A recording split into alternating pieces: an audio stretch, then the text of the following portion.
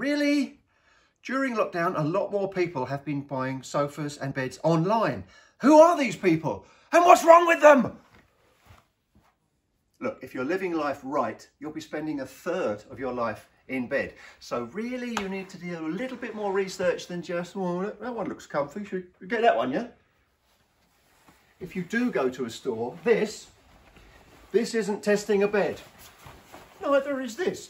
If you do come to our store, we will strongly recommend that you take off your coat and your shoes and take as much time as you need to lie on your back, lie on your front, lie on both sides.